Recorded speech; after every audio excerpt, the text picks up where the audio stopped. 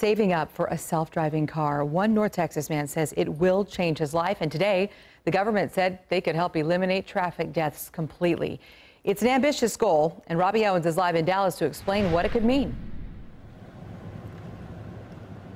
Well, Kaylee, who wouldn't, or I would say a lot of you would like to sit back, relax, and perhaps let the onboard computer deal with all of this, and you wouldn't have to treat the computer to lunch. Still, where federal officials see that driverless technology as a way to make streets safer, Blake Lindsay just wants full access to them.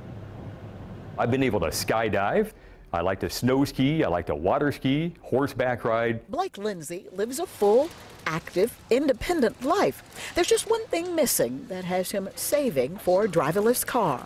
I'm excited because I'm totally blind, and these cars are going to make a huge difference in a person who's blind uh, to be able to get around and be that much more independent. I don't know what we're not going to be able to do after that. For the visually impaired, driverless vehicles will change lives, but federal safety officials say they will save lives by making the roadways safer. Their ambitious goal?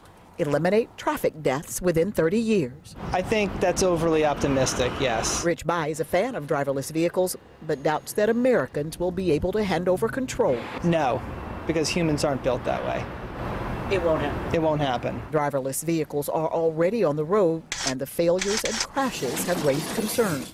And let's slow it down a little bit. Or, hey, look, let people know that they're a test pilot to a technology that's not perfect. And while Lindsay admits that the technology isn't perfect yet, a driverless vehicle can't get in his driveway fast enough. This is not a fantasy anymore.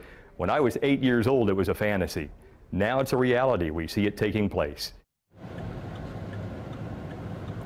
Lindsay says technology has already opened so many doors for the visually impaired, so why not the roadways? Live in Mobile 11 in Dallas, Robbie Owens, CBS 11 News.